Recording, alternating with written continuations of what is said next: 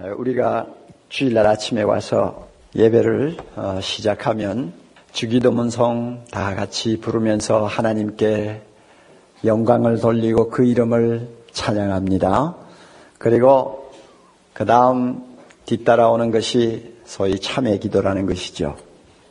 불과 1분 내지 2분밖에 안 되는 짧은 시간입니다만은 그 시간에 우리는 하나님 앞에 마음을 열고 지난 한 주간 동안 알면서 지은 죄 모르고 지은 죄 회개를 합니다.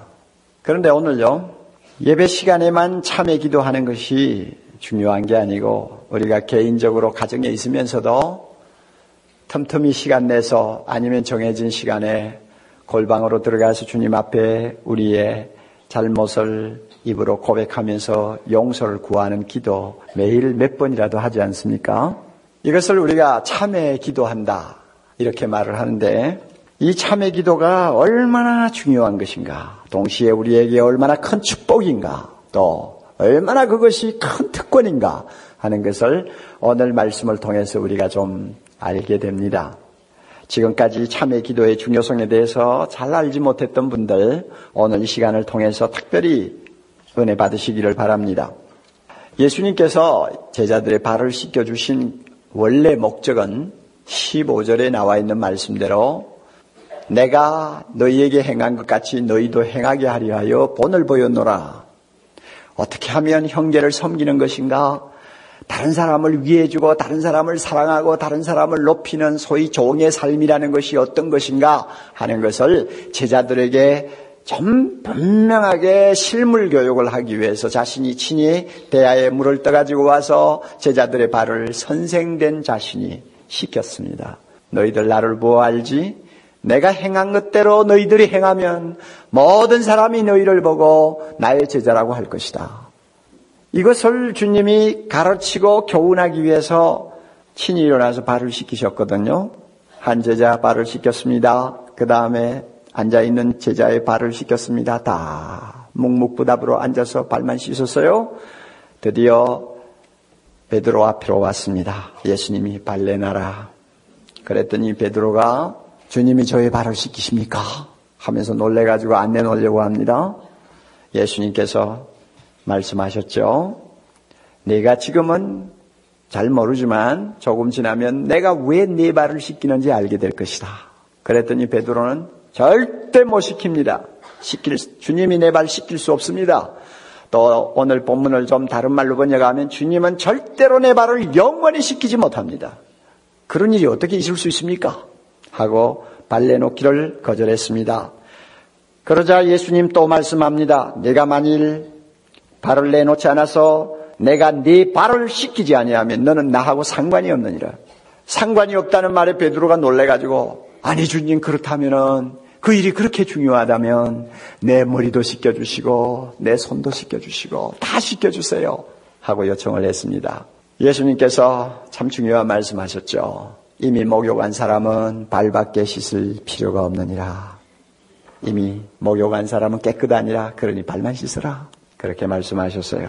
베드로가 이와 같이 돌출적인 반응을 보임으로 인해서 예수님이 본래 제자들에게 교훈하시려고 하는 그 교훈에서 약간 빗나갔어요. 빗나가지고 발 씻기는 이 장면을 통해서 주님이 아주 소중한 진리를 우리에게 가르쳐 주었습니다. 그게 뭐냐면 목욕하는 것과 발 씻는 것의 차이입니다. 목욕하는 것은 무엇이며 발 씻는 것은 무엇이냐? 목욕한 사람이 왜 발 씻는 것이 그렇게 중요하냐 하는 것을 가르쳐 주시는 거예요. 목욕은 한 번 하는 것입니다. 발은 자주 씻는 것입니다. 차이점이 거기에 있어요. 제가 자랄 때만 해도 1년에 목욕 두 번밖에 못 했으니까요.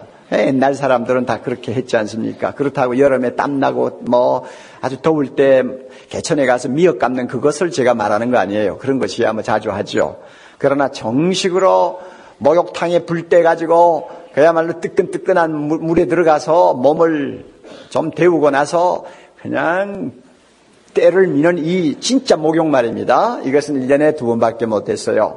추석 하루 전날 또 그 다음에 설 하루 전날 어머니가 개구쟁이 같은 우리를 끌고 가가지고 한 목욕탕 안에 세 놈 다 집어넣어 놓고는 그냥 빡빡 끌고 대는 거예요. 그냥. 왜냐하면 또 한 번 목욕하려면 반년 기다려야 되니까 빡 박박 긁어서 뭐 그야말로 다시는 때가 안 오르도록 하는 그러니까 막 목욕하는 날은 고문하는 날이요. 막 비명을 지르고 법석 떨지 않아요. 그러니 그 목욕이라는 것은 한 번 하는 거예요. 유대 나라도 뭐 다른 다르지 않다고 생각합니다. 비가 많이 오는 것도 아니고 뭐 집집마다 요즘처럼 그렇게 샤워하고 목욕할 수 있는 시설이 갖추어진 것도 아니고 그러니까 그 나라 사람들도 뭐 1년에 목욕 한 번 했는지 몰라요. 예, 그렇게 살았어요. 그러나 발은 유대 나라 사람들은 매일 씻었습니다. 워낙 다니면서 먼지를 많이 뒤집어 쓰기 때문에 집에만 들어가면은 발 씻을 물이 준비가 되어 있었고 뭐 자기가 씻든지 종이 씻어주든지 하여튼 발은 자주 씻게 돼 있어요. 날마다 씻었어요. 그러니까 주님이 이 사실을 놓고 중요한 교훈을 하는 것입니다. 목욕하는 것과 발 씻는 것. 이것이 무엇이 다르냐? 왜 목욕한 사람은 꼭 발을 씻어야 되느냐? 이것을 영적으로 의미를 담아서 우리에게 이야기하는 것입니다. 예수 믿는 사람에게 있어서 목욕은 뭐냐? 예수 믿자마자 하나님이 나의 모든 죄를 다 용서하시고 나를 의인으로 받는 것을 목욕한다고 이야기합니다. 이것을 신학적인 용어로 속죄라고도 하고 또 칭이라고도 합니다. 의롭다함을 받는다는 말로도 합니다. 그래서 더 쉬운 말로 말하면 하나님 앞에 모든 죄 용서받았다는 말로 다 통합니다. 여러분 오늘 이 가운데서 예수 처음 믿은 분 계시죠? 믿은 지 얼마 안 되시는 분들 계시죠? 똑똑히 들으세요. 여러분 정말로 횡재 맞는 사람이에요. 굉장한 겁니다. 여러분이 잘 모르지만은 예수님이 하나님의 아들이시여 그분이 나의 죄를 위해서 이 세상에 오셨다가 나의 죄를 대신 짊어지고 3일 만에 십자가에서 죽으셨다는 걸 여러분 듣고 믿었습니다.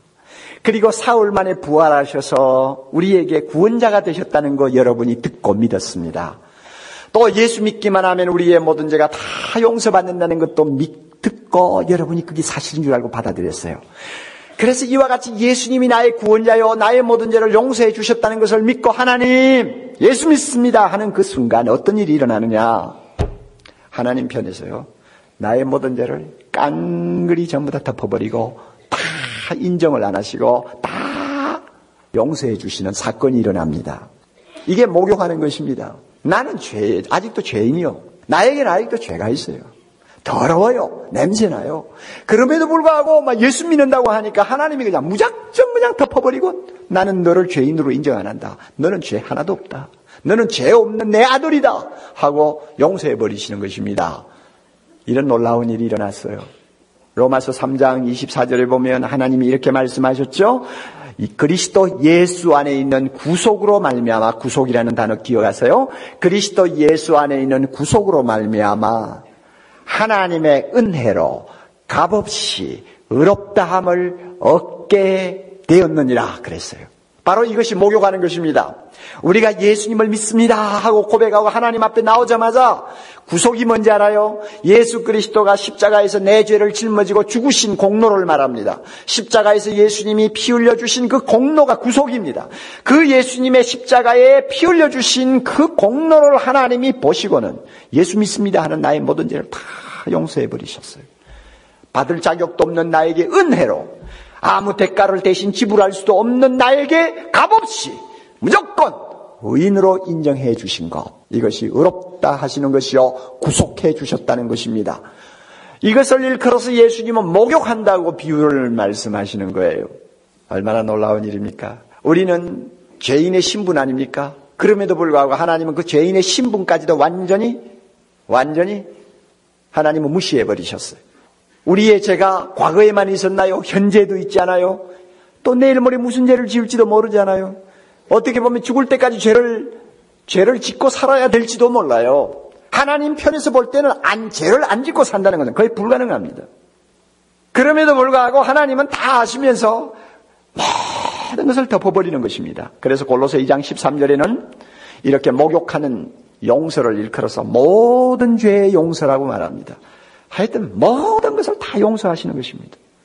그러므로 여러분, 여러분의 과거가 어떠했든 간에 또 여러분이 하나님 앞에 너무나 부끄러운 죄인이라고 하는 가책을 갖고 있던 간에 상관없어요. 예수 믿으면 하나님이 다 용서하시되 모든 것 다 용서하십니다.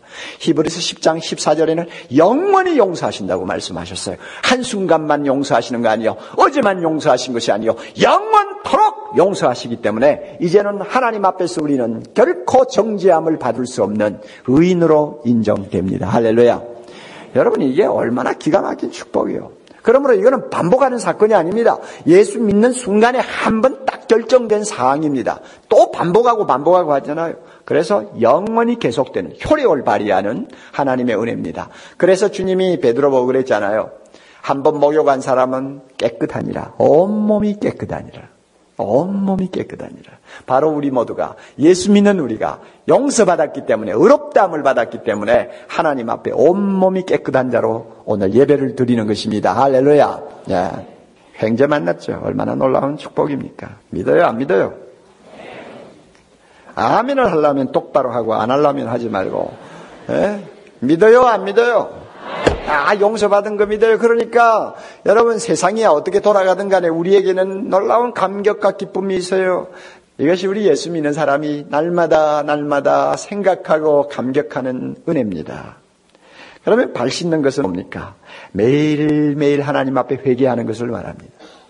여러분 뭐 우리가 잘 아는 일입니다. 죄안 짓고 살 수 있어요? 여러분이 어떻게 생각하고 계시는지 모르지만 죄안 짓고 살 수 있어요? 아마 여러분 중에 옥목사도 문제가 있다. 얼마나 죄를 짓게 저런 소리를 하고 있나. 아마 그렇게 생각하실지 모르지만 사실 엄밀히 따지면 죄 안 짓고 사는 거 불가능합니다. 내가 물 무슨 이야기를 하는가 하면 하나님은 완전히 거룩하신 분입니다. 그 완전히 거룩하신 분의 눈에 들 수 있다는 것은 불가능한 거예요. 그러면 완전히 거룩하신 하나님의 눈에 조금이라도 안 들은다, 드는 것이 조금 조금이라도 비상하는 것이 있다. 이것은 벌써 범죄가 되는 것입니다. 완전하신 그분을 만족할 수 있습니까? 만족시킬 수 있어요? 못 시키죠. 바로 그 자체가 죄인 거예요. 여러분 마음을 다하고 뜻을 다하고 목숨을 다하고 힘을 다하여 주 너희 하나님을 뭐하라 그랬어요? 사랑하라. 우리 그대로 할 수 있습니까? 내 이웃을 내 몸과 같이 뭐하라 그랬어요? 사랑하라. 말은 잘하지. 그러나 내, 내 이웃을 내 몸과 같이 사랑합니까? 자식도 그렇게 못 사랑하는데? 사랑해요? 못해요. 이 세상이나 이 세상에 있는 것을 사랑치 말라 했는데도 얼마나 우리 마음이 세상을 따라다닙니까? 뻔히 알면서도 게으름 피우면서 하지 않는 것도 죄지요. 마음으로 일어나는 오만 가지 생각은 어떻게 다 처리합니까? 도대체 죄를 짓지 않고 살 수 있는 순간이 몇 분이나 될까? 몇 시간이 될까? 우리 생각하면 암담해요. 하나님이 이걸 아세요. 안 되는 줄 알아요. 안 되는 줄. 안 되는 줄 안다고요. 그러니까 하나님께서는 우리를 위해서, 우리를 위해서 매일매일 회개할 수 있는 문을 열어 놓으셨어요.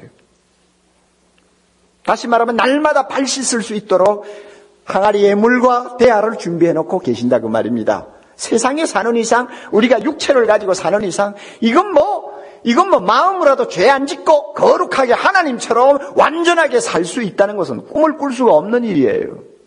우리가 죄 안 짓는다 하는 것은 어느 정도를 이야기하는 것이고 우리가 거룩하다 하는 것도 어느 정도를 이야기하는 것이지 하나님의 수준은 수준으로 볼 때 하나님의 표준에서 볼 때는 불가능한 거예요. 그거 다다다 다 자랑할 만한 것이 못 되거든요.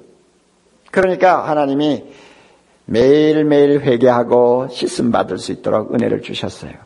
그래서 뭐라고 합니까? 오늘 지난 주간에 우리가 외운 성경 말씀 보세요. 다윗이 뭐라고 해요?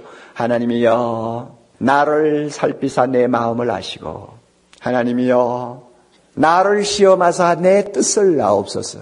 만일 내게 무슨 악한 것이 있으면 악한 행위가 있으면 나를 사하시고 영원한 길로 인도하소서. 항상 하나님 앞에 그렇게 구하는 거예요. 하나님, 나도 잘 모르지만은 하나님은 깊은 곳도 보시지 않아요.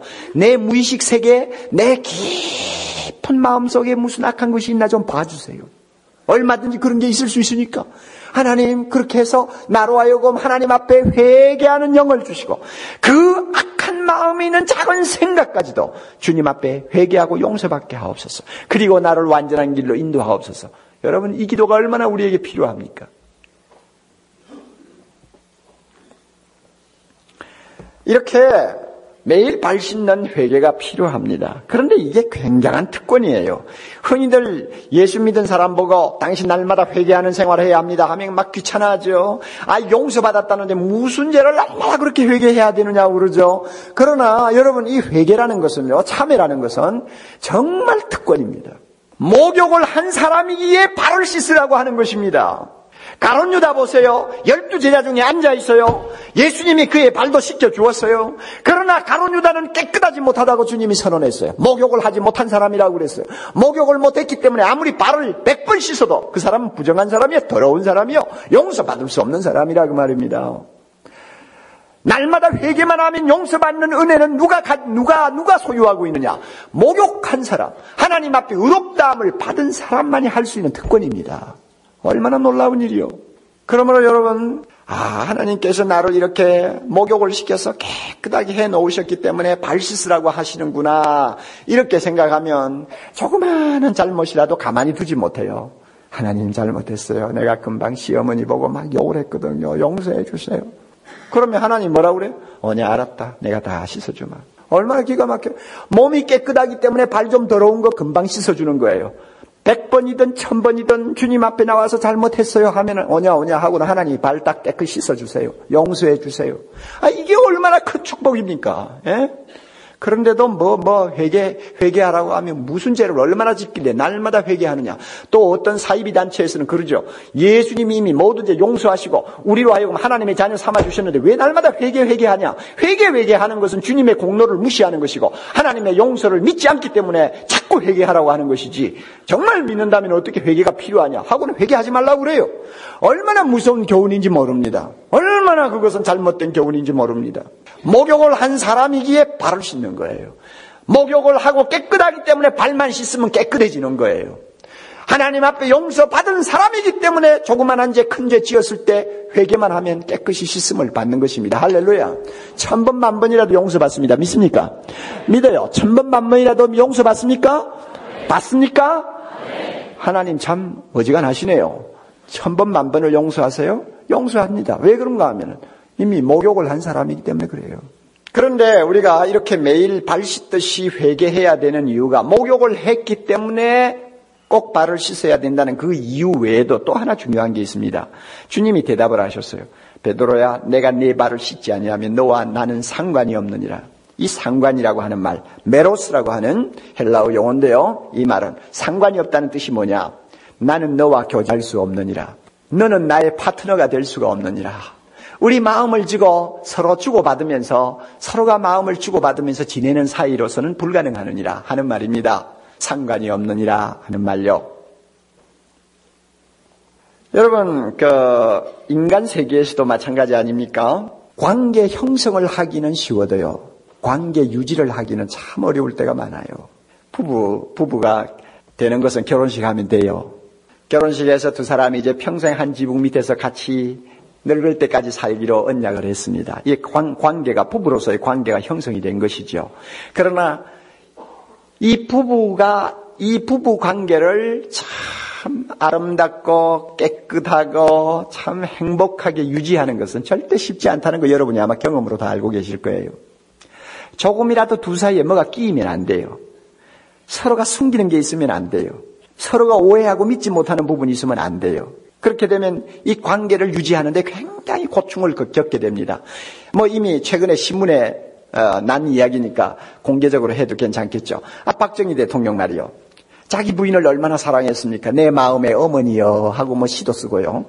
또 태평양보다 더 넓은 내 마음의 고향이요 뭐 이렇게 하고 뭐 글도 쓰고 그만큼 부인을 사랑했지만 뭐, 그 높은 자리 있으니까 또 제 맘대로 하는 거 있지 않겠어. 부인 모르게 살짝 어느 뭐, 뭐 배우하고 같이 속닥속닥 하다가 그 자리에 부인이 나타나서 문 열어요! 나예요! 하고는 문을 열고 들어갔다죠. 자, 이런 일들이 부부 사이에 벌어지면 참 곤란합니다. 그렇죠? 그렇지 않겠어요? 그러면 그 두 사람의 관계를 유지하는데 많은 고충과 아픔과 그 다음에 상처를 받는 거예요. 인간관계도 그래요. 부모와 자식 사이도 마찬가지 아닙니까? 세상에 끊을 수 없는 관계는 부모 자식 관계인데요. 이건 뭐 서로 살과 피를 나눈 관계니까. 그럼에도 불구하고 비록 아버지 아들이라고 하는 관계는 쉽게 형성이 될지 모르지만 아버지와 아들로서의 관계를 유지하는 데는 서로가 조심을 많이 해야 됩니다. 서로 불편하게 하는 어떤 일들이 사이에 있으면 안 되죠. 자, 여러분 저는 어린 시절 시골에 살면서 어, 재밌는 그런 일들이 가끔 있었는데요. 가을에 벼를 다 빼고 나면은 그 논밭이 환히 열리죠. 그러면은 그 추수하고 끝난 논밭은 전부 개구쟁이들의 놀이, 놀이터가 됩니다. 아직도 그 물, 물되었던 논이니까 진벅진벅한 데도 많아요. 그럼에도 불구하고 뭐 아침부터 저녁까지 개구쟁이들이 뭐 그죠 정신없이 놀죠. 뭐 놀면서 옷도 더럽히고 뭐 손발은 뭐 흙에 묻어가지고 엉망이고 뭐 어떤 때는 소똥도 밟아가지고 냄새도 나고 막 야단이죠. 그럼에도 불구하고 노는 재미에 정신없이 있다가 해가 지고 나서 밥 먹으라고 막 부르는 소리가 들리면 막 자기 집으로 각자 가죠. 저도 그랬어요. 걔 집으로 오면요 배가 얼마나 고픕니까? 그러니 그 밥상 차려놓은 방으로 들어가기 위해서 막 정신없이 와가지고는 신발을 벗는데 얼마나 급하게 벗었는지 고무신이 그냥 공중으로 날아가가지고 저 마당 중간에 뚝 하고 떨어지죠. 막 흐르면서 막 밥상에 와가지고 먹으려고 달려듭니다. 그때 아버지가 그러죠. 너 나가서 손발 씻고 들어오지 못해? 이런. 아우 배고픈데 먹고 씻을게요. 이 자식아 지금 냄새 나는 거 너 몰라? 그 더러운 손을 가지고 어? 너 같이 밥상에 먹을 수 있다고 생각해 나가 이러면 이러면 막 할 수 없죠. 나와야죠. 나와가지고 물을 떠가지고 뭐 어머니가 뒤따라 나와서 이제 물을 떠줍니다. 떠주면 손발 막 적당히 씻고 어떻게 하든지 막 그냥 밥, 상에 들어가서 밥 먹고 싶어서 막 씻어대죠. 그거 왜 씻으라고 합니까? 아버지인데. 자기 아들이 뭐 소똥을 묻혀가 왔든지 개똥을 묻혀가 왔든지 자기 아들인데 같이 그저 가까이 다가 어, 가까이 오게 해서 같이 먹으면 어때요? 그런데도 안 되잖아요. 냄새 피우지요. 더러운 손 가지고 반찬에 손대지요. 그거 가만히 두겠어요? 그러니까 손 씻어오라고 아부성이에요.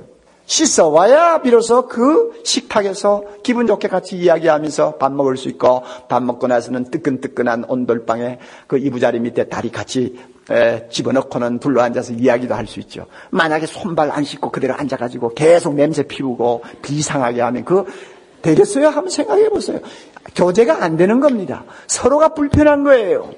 하나님과 우리 사이도 마찬가지요. 하나님이 이미 우리를 자기 자녀로 깨끗한 하나님의 아들로 삼아 주셨습니다. 삼아 주셨지만 우리가 세상에 살기 때문에 개똥도 묻혀오고 소똥도 묻혀오고 냄새도 피우고 막 그런단 말이에요. 그러니 하나님이 너 씻어와. 씻어. 씻어야 돼. 안 씻으면 내가 너하고 가까이 할 수가 없어. 그래서 자꾸 회개하라고 하는 것입니다. 우리는 하나님 안에 있습니다. 하나님은 우리 안에 있습니다. 얼마나 긴밀한 관계입니까? 그러므로 하나님께서는 그 두 사이에 이상한 일이 일어나지 않기를 바랍니다. 써먹써먹하지 않기를 바랍니다. 뭔가 숨겨놓고 있는 것을 원하지 않습니다. 마음과 마음을 마음대로 주고받으면서 서로 아픈 것을 나누면서 서로 하나님과 교제하는 관계를 갖기를 원하고 같이 걸어가도 조금 더 불편하지 않는 사이가 되기를 바랍니다. 무엇이든지 다 말할 수 있는 사이, 무엇이든지 다 들을 수 있는 사이, 무엇이든지 다 함께 짊어질 수 있는 사이를 유지하기를 하나님이 원하시는데 단 하나 하나님이 싫어하고 불편하는 것은 불편하게 생각하는 것은 빨리빨리 빨리빨리 처리하라 그 말입니다. 이게 발 씻는 거예요. 그래서 하나님은 날마다 발 씻을 장치를 우리에게 해 주셨어요. 요한일서 1장 9절 여러분이 예배 시작할 때마다 듣는 말씀 있죠? 만일 우리가 우리 죄를 자복하면 자백하면 저는 미쁘시고 의로우사 우리 죄를 사시고 모든 불의에서 우리를 뭐 하실 것이요? 깨끗하게 하실 것이요. 그렇게 함으로써 우리는 하나님과 깊은 교제와 사랑을 나눌 수 있게 되는 것입니다. 그러므로 여러분 무슨 죄를 저렇게 많이 지어서 날마다 눈물 콧물 흘리면서 하나님 앞에 잘못했다고 하느냐? 여러분이 그렇게 생각하면 안 돼요. 왜 울면서 회개하느냐? 하나님과 더 깊은 관계, 더 아름다운 관계, 행복한 관계, 사랑이 넘치는 관계를 유지하기 위해서 그러는 것입니다. 여러분 성 어거스틴 잘 아시죠? 얼마나 위대한 참 성자였습니까? 젊었을 때 좀 방탕하고 잘못한 것으로 인해서 늘 마음의 가책을 가지고 있었지만 그는 회개하고 나서 수도, 수도원에 들어가서 수도원의 원장으로서 평생을 살면서 얼마나 경건하게 살았는지 얼마나 거룩하게 살았는지 놀라울 정도입니다. 회개를 해도 어거스틴만큼 철저하게 회개한 사람이 없습니다. 그의 참회록을 한번 읽어보세요. 얼마나 철저하게 회개했는지요. 그렇게 회개하고 평생을 거룩하게 살고 여자를 가까이 하지 못하도록 딱 선을 그어놓고 살았잖아요. 같은 수동원에 사는 자기 누이 동생도 자기 방에는 들어오지 못하도록 딱 선을 꺼놓고 살았잖아요. 그만큼 깨끗하게 산 사람에게 무슨 회개가 필요합니까? 그럼에도 불구하고 어거스틴은 시편 51편을 늘 벽에다 걸어놓고 날마다 그 시편을 외우면서 하나님 앞에 회개하고 살았어요. 시편 51편은 다윗이 우리아라고 하는 자기 부하 를 죽이고 그 아내를 자기 아내 삼은 아주 아주 무서운 죄를 범한 다음 하나님 앞에 회개하는 내용이 거기에 기록되어 있어요. 그 회개하는 소위 참회의 시, 그 참회의 시를 평생 어거스틴은 읽으면서 그것을 자기 기도로 삼고 있었어요. 하나님이여 주의 인자를 쫓아 나를 극률히 여기시고 주의 많은 자비를 쫓아 내 죄과를 도말하소서. 나의 죄악을 맑게 시키시며 나의 죄를 깨끗이 제하소서. 대전하는 내 죄과를 나오니 내 죄가 항상 내 앞에 있나이다. 내가 주께만 범죄하여 주의 목전에 악을 행하여 싸우니 주께서 말씀하실 때 의로, 우시다 하고 주께서 판단하실 때 그 다음에는 모르겠어요. 철어 나를 정결케 하소서 내가 정하리이다. 나를 시키소서 내가 눈보다 희리이다. 내가 죄악 중에 출생하였으며 모친이 죄 중에 나를 잉태하였나이다. 하나님이여 피 흘린 죄에서 나를 건지소서 내 혀가 주의 의를 높이 노래하리이다. 정말 다윗이 하나님 앞에 자기의 죄를 넣고 참여한 내용이거든요. 그걸 어거스틴이 늘 걸어놓고 암송하고 살다가 나중에 70세 운명할 때, 운명할 때 마지막으로 한 기도가 바로 51편이었어요. 그것을 하나님 앞에 기도하면서 갔어요. 무슨 죄를 많이 지어서 그렇게 했겠어요? 아니요. 죄를 많이 지어서가 아니에요. 하나님과 자기와의 관계가 항상 깨끗하고 아름답고 사랑이 넘치는 관계를 유지하기 위해서 하나님이 행여나 자기를 보고 불편해 할까 싶어서 뭔가 조그마한 것이라도 끼어가지고 하나님이 괴로워할까 싶어서 계속 참여하는 거예요. 계속 회개하는 거예요. 이게 정상 아닐까요? 예? 이거 정상 아니요? 주기도문을 보세요. 주기도문을 보면 참 중요한 것 두 가지를 우리에게 기도하라고 합니다. 하나는 육신의 생명과 건강을 위해서 기도하라고 합니다. 오늘날 우리에게 용할 양식을 주옵시고 누구든지 그날 그날 시시때때로 먹고 마시는 양식이 없으면 우리는 살아남을 수도 없고 건강할 수도 없습니다. 하나님이 그것을 너무나 잘 아세요. 그러므로 얘야 너 날마다 기도해라. 날마다 날마다 시시때때로 기도해라. 일용할 양식을 내게 주옵시고 우리의 육신 생명을 위해서는 이 기도 빼놓을 수가 없어요. 여러분 이 가운데서 실업을 당하신 분이 있어요? 참 살 길이 앞으로 막막하신 분이 있어요? 걱정하지 마세요. 하나님께서 이 기도하라고 그랬어요. 일요일 양식 달라고 기도하라고 그랬어요. 하나님이 주십니다. 할렐루야. 하나님이 주십니다. 염려하지 마세요. 쓸데없이. 뭐 오늘까지 내가 걱정해서 살았나요? 그 다음에 우리의 영혼의 생명과 건강을 위해서 또 하나 기도하라고 했습니다. 우리에게 우리 죄 지은 사람을 우리가 용서해 준 것 같이 그 다음에 뭐요? 우리 죄를 사하여 주옵시고 매일 발 씻듯이 회개하라고 가르칩니다. 용서해 주옵소서. 우리 죄를 용서해 주옵소서. 도대체 무엇 때문에 그 기도를 날마다 하라는 거예요? 우리는 이미 목욕한 사람이기 때문에 그렇게 발 씻어야 돼요.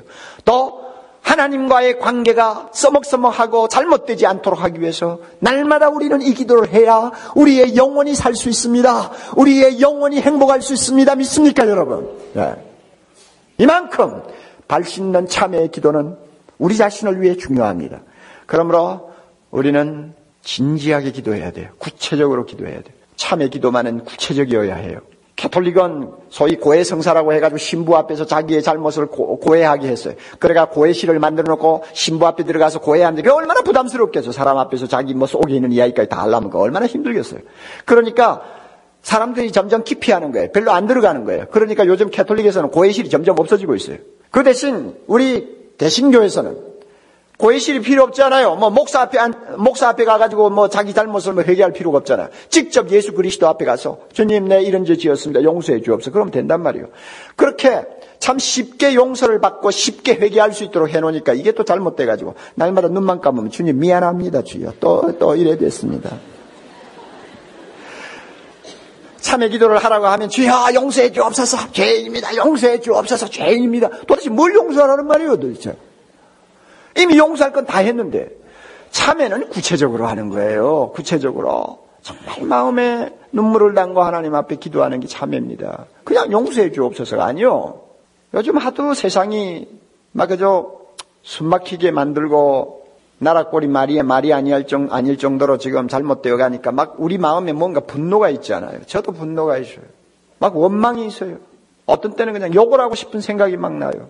그러니 이게 정상이요, 비정상이요? 말해보세요. 목사의 마음으로 정상이요, 비정상이요? 정상입니까? 그런데요,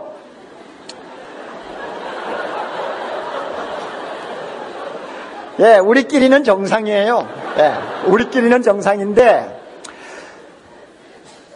나를 자기 아들 삼아주신 하나님이 보실 때는 좀 불편하실 거예요.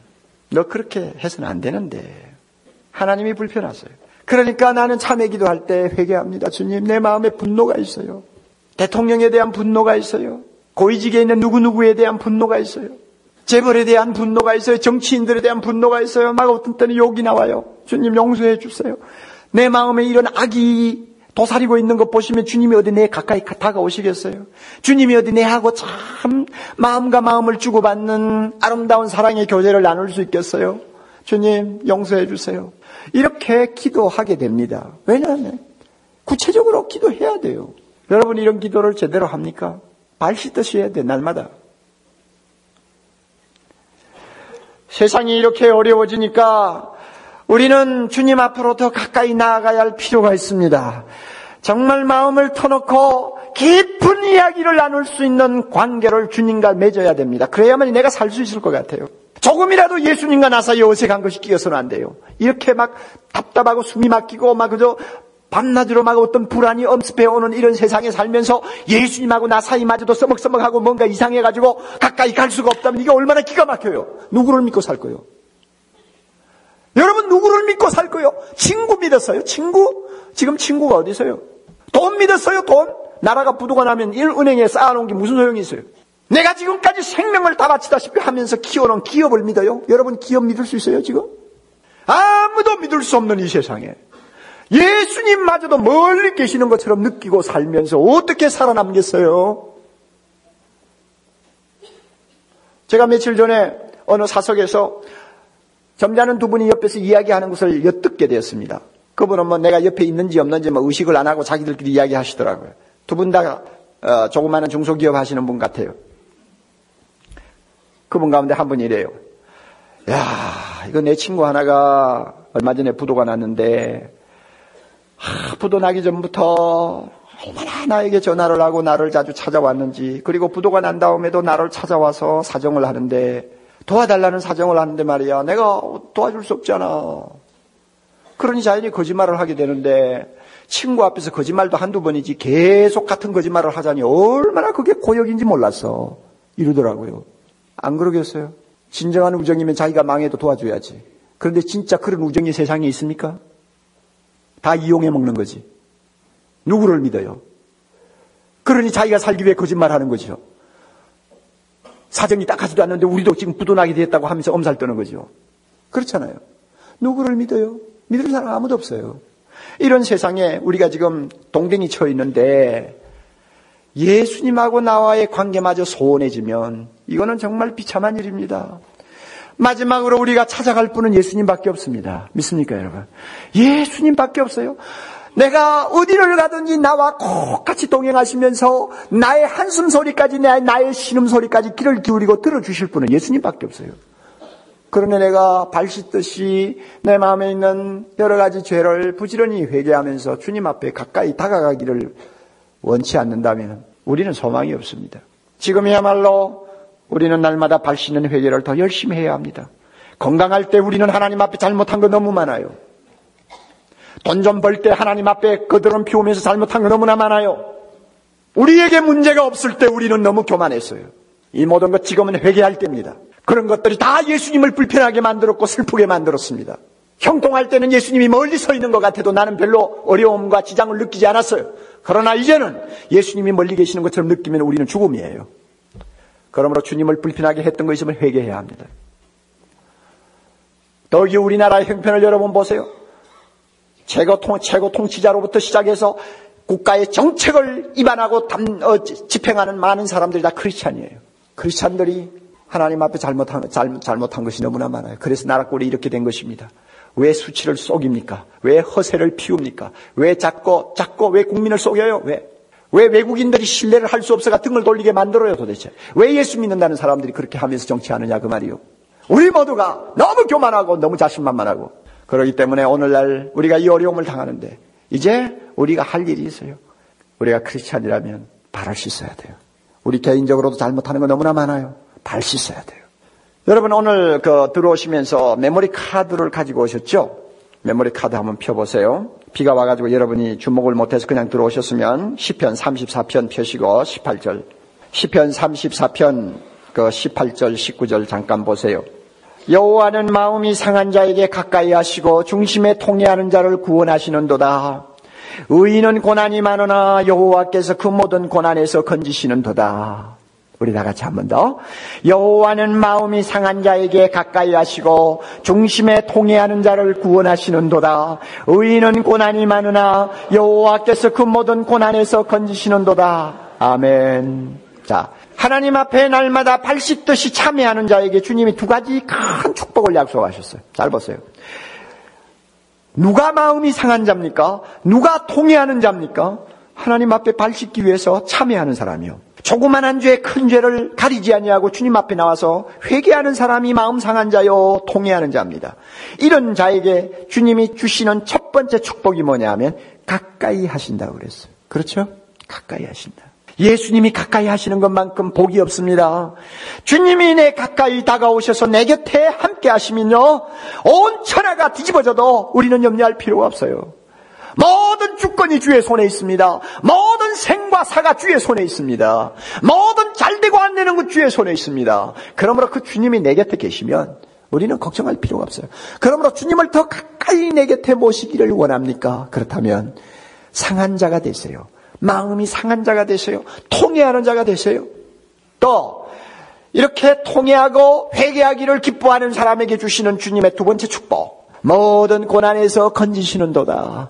결국은 우리를 구원해 주십니다. 할렐루야. 결국은 구원하십니다. 우리가 비록 어려운 때도 있고, 뭐 역경을 헤치고 나갈 때도 있고요. 어떤 때는 눈물이 저녁에 기숙할 때도 있지만, 그러나 주님은 결국 통해하고 자복하는 자를 건져 주십니다. 구원해 주십니다. 여러분, 걱정하지 마세요. 걱정하지 말고 주님과의 관계만 바로 맺으세요. 두 사이에 뭔가 써먹써먹한 거 있으면 빨리 해결하세요. 그렇게 하고 주님과 깊은 관계를 맺고 날마다 주님과 깊은 마음의 대화를 나누면서 기도하면서 살면요. 저녁에는 울음이 기수갈지라도 아침에는 기쁨이 오리로다. 그날이 옵니다. 환란 날에 나를 찾으라. 내가 너를 건드리니 내가 나를 영화롭게 하리라. 환란 날에 부르짖는 주의 자녀 반드시 영화롭게 하심을 믿습니다. 여러분, 그러므로 날마다 참여하는 것이 그저 뭐 종교 행사가 아니고 나 자신을 위해서 굉장히 중요한 은혜요 특권이라는 거꼭 기억하시고 우리 모두가 우선 먼저 할 것.